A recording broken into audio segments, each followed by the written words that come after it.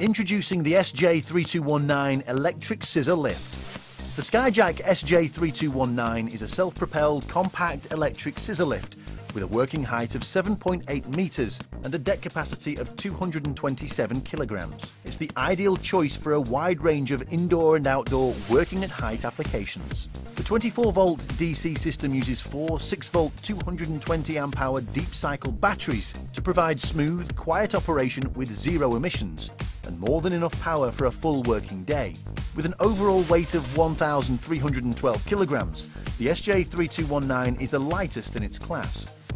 Wide, non-marking tyres reduce ground pressure and protect finished surfaces. And the rollout 0.9 metre deck extension increases the available workspace and provides that all-important up and over capability. The upper control box features a proportional joystick with a safety enable trigger, thumb steer, function selector switches, battery level gauge, horn and an emergency stop. Lower controls include a lift and lower function, a further emergency stop, a key ignition switch and a main power switch, which can be locked to prevent unauthorised use. 90 degree steering provides excellent manoeuvrability and the narrow width, together with hinged rails, allows the unit to pass easily through standard internal doorways. When elevating, pothole protection bars automatically deploy and drive slows to a creep speed for safety. When lowering, the platform will automatically stop and around 2 metres above the ground, an alarm will sound. Before continuing, the control must be released and checks made to ensure no person is near the scissor. The SJ3219 is also equipped with a tilt sensor, which halts the lift and drive functions if the maximum slope is exceeded when elevated, and a platform load measurement system which prevents overloading. All components are located inside swing-out compartments, making them readily accessible for routine maintenance, for example, when checking battery levels. The battery charger, located at the rear of the machine, automatically adjusts to suit the power supply, and when the batteries are at full capacity, switches off to save power.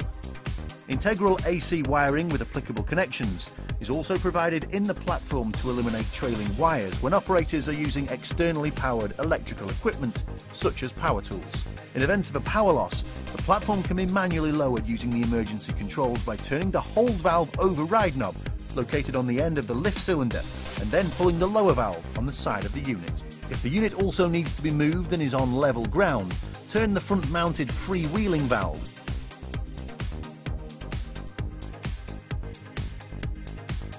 Then depress the brake release knob and then push the hand pump. Once resistance is felt, the brakes are released.